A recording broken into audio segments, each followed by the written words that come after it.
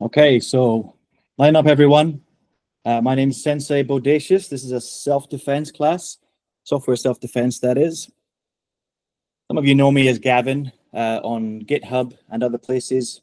I'm often Bodacious. On Slack, I'm just Gavin. Um, you can find me somewhere. And if you don't know, I have a first degree black belt in origami. I want you to think about something. I want you to ask yourself, what's the biggest threat to you and your code.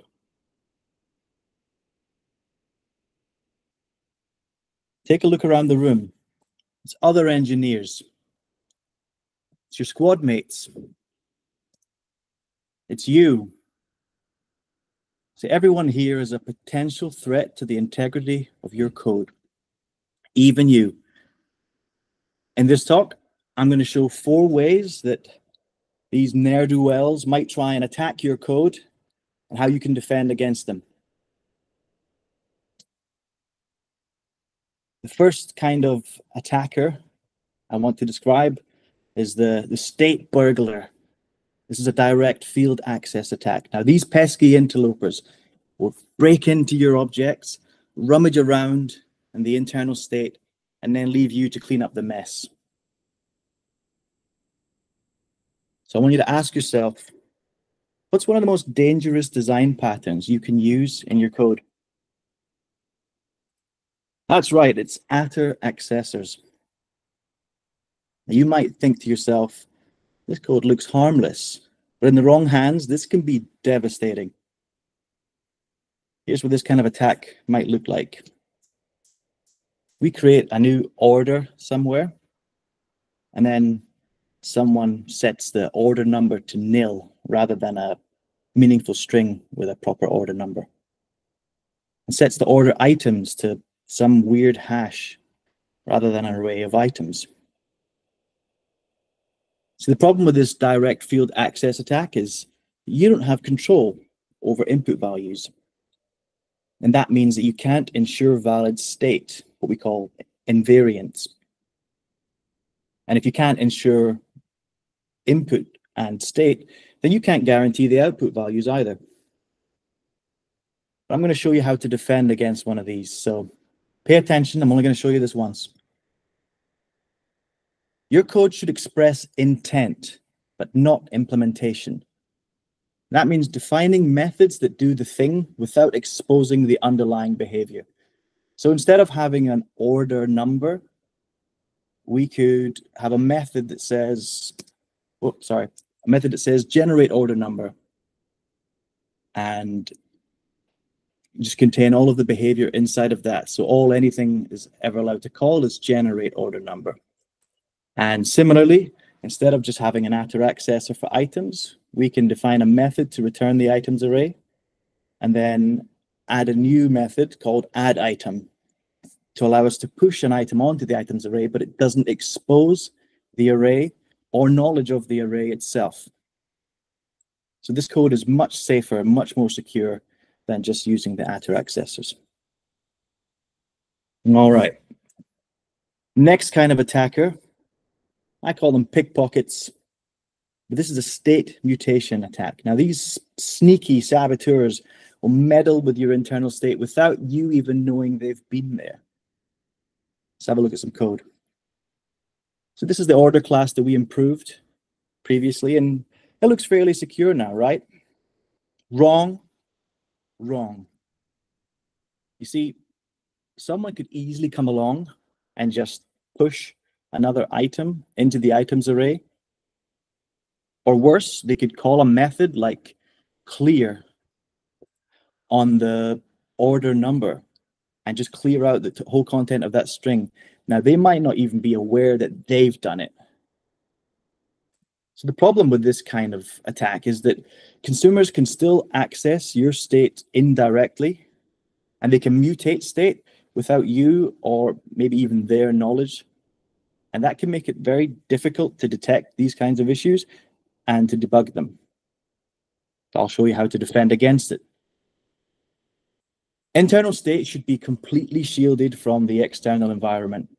Um, and this is a fundamental principle that needs to be repeated as many times as possible. So there's a few ways that I like to implement something like this.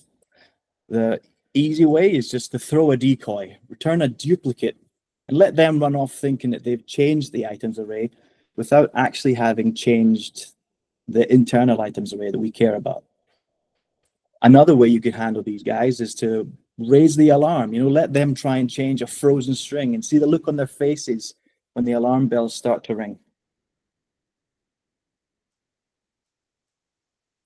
Third kind of attacker you might encounter is the entangler. This is a leaky abstraction attack. Now, these sinister control freaks want to get right up in your business and entangle and ensnare you until you are completely immobilized.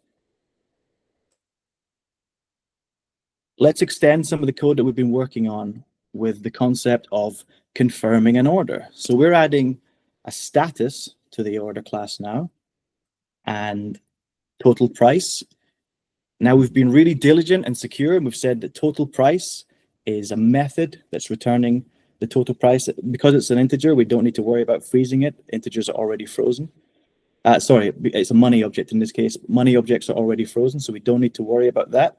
And the, the setter here is casting the value to an integer and then as a money object. So we know we can trust that our total price is going to be a money object. Similarly, our status method is returning a symbol which is already frozen. So we don't need to worry about the other two kinds of attacks we've already seen here. This code is secure.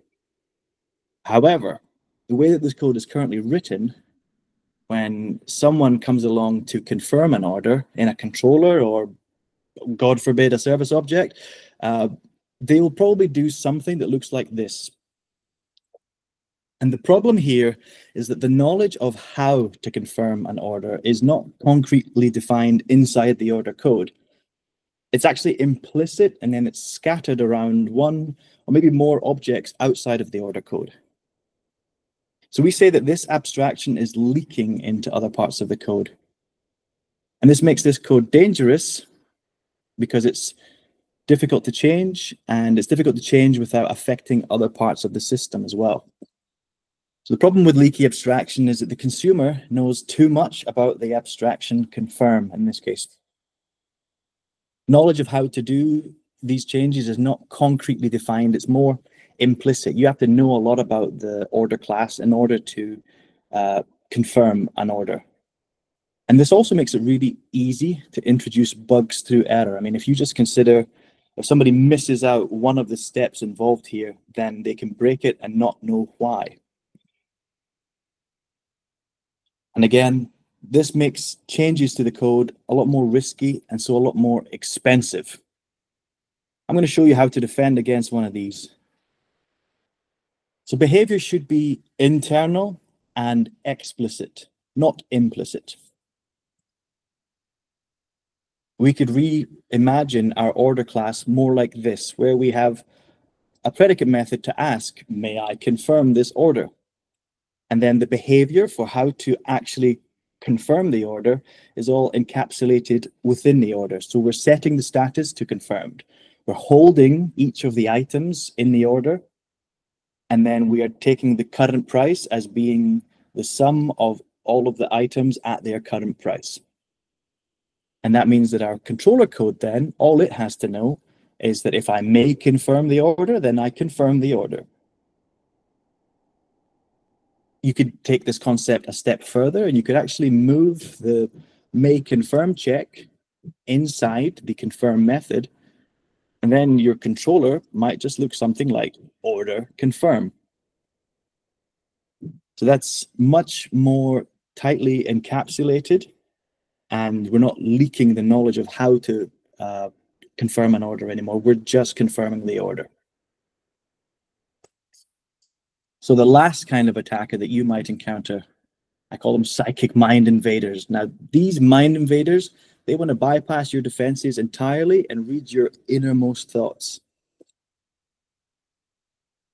Let's have a look at how this attack works. So just consider this simple code where we have an order class and it can generate a unique number, but that's a private method. We don't want anybody to know how we generate a unique number or even that we do have this method.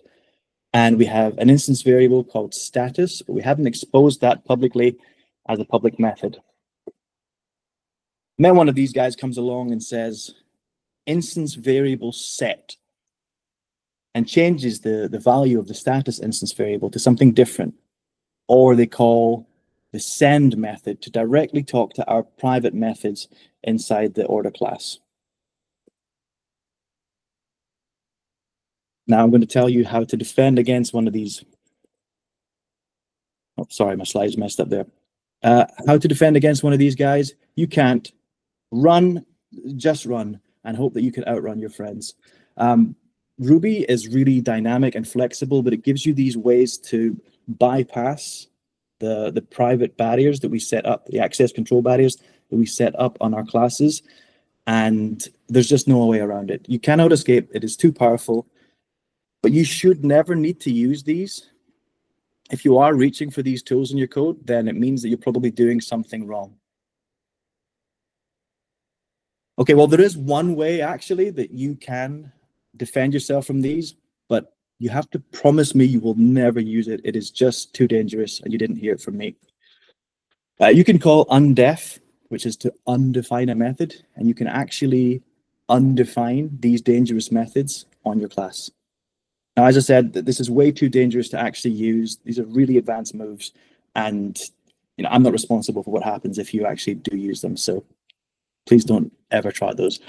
But they do exist. Um, with the private bypassing, uh, you should need to understand that we should enforce public interface methods at all times. That means if you want to change the state, then call a method that will do that internally. And if you want to use the public send method to send a message that a method ought to be sent, then that's totally fine. Just not the the send method, which can access private methods uh, as well. So to recap on all of that, prefer methods over attribute setters. The code should express intent, but not implementation. Ensure that any exposed state is immutable. Now, sometimes this is intrinsic with examples of uh, booleans, symbols, integers. Uh, these are all frozen in Ruby. But if the return values themselves are not frozen, then take extra steps to protect yourself there.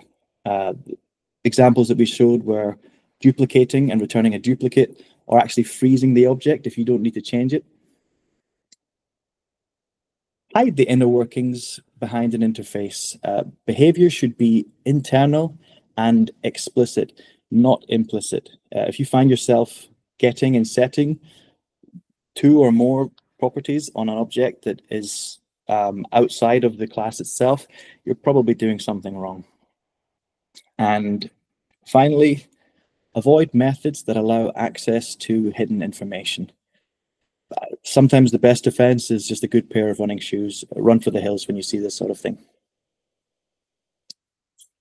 I'm happy to open up to any questions. I hope that's been helpful. Um, but otherwise, yeah, stay safe, everyone.